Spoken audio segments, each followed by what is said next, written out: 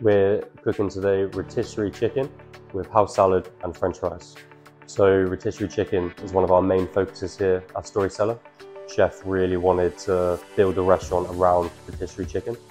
So it's available lunch, dinner, even on our Sunday lunch menu where we have the rotisserie chicken with the traditional Sunday garnishes. So we get beautiful chickens from France that are corn-fed free range.